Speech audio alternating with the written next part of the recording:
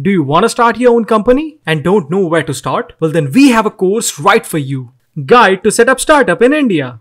This course explains you about the pros and cons of the various legal entity structures and how to select the type of company registration in India. You will learn about identifying and assessing the idea, assessing the market size and target customers, investigating environment and competitive advantage, legal structure for a startup, permits, compliances and registrations, and lots of other things. With more than 10 hours of audio and video content, no minimum qualification, prepared by industry experts, no fixed timings, online certification, innovative content, and lifetime access. With an awesome rating of 4.3 from over 700 entrepreneurs, you too can enroll yourself in this course for an incredible discounted price of 1999 rupees. So what are you waiting for? Visit ILMS Academy right now.